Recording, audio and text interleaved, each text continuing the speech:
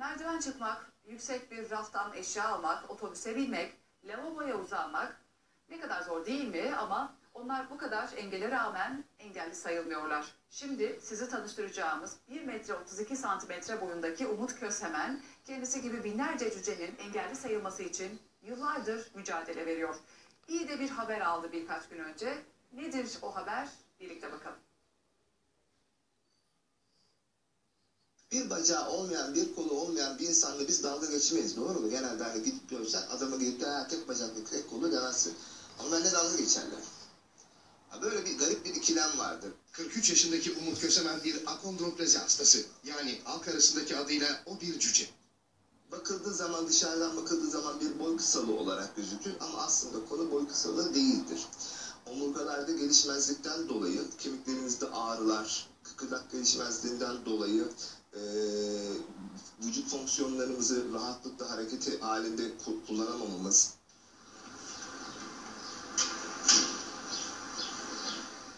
evin kapısından dışarı çıktığın andan itibaren e, bir kere yani sokaktaki e, kurulan hani sisteme baktığında kaldırım, merdiven en basit yani bunlar bile senin için sıkıntı yaşıyor. Çünkü kaldırımlar yüksek, merdivenler dengesiz.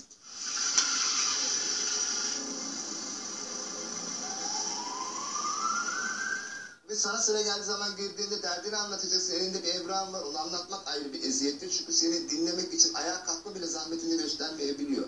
Biz de şeyde iyice uzaklaşmaya başladık. Empatiden de çok ciddi uzaklaşmaya başladık. Kösemen engellerini 10 yaşlarında fark etti. Sorunlar da katlana katlana arttı. Dışlanmak kadar daha kötü bir şey yok. Zaten sağlık sorunuyla uğraşıyorsun.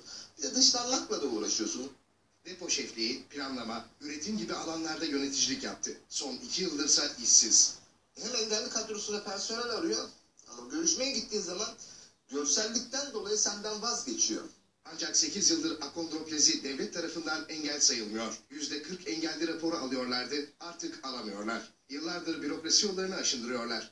Cüceler tarihleri boyunca padişahların, soytarıların, padişahların, prenslerin soytarıları olmuşlardır. Hep güldürmüşlerdir. Biz de bu işi soytarısı haline getirmesinler artık. Kösemen 8 yılda yüzlerce yazışma yaptı. Son olarak Kamu Denetçiliği Kurumu'ndan bir yanıt aldı. Kurum 5 ayrı bakanlığa yazdı. Çözüm için önerilerde bulundu. Kösemen gibi binlerce akondroplezi hastası Cumhurbaşkanı'ndan da destek bekliyor. Cumhurbaşkanını böyle bir şeyle meşgul etmek bana çok anlamsız geliyordu. Yani ama artık kendisinden rica ediyorum. Bunu çok net söylüyorum.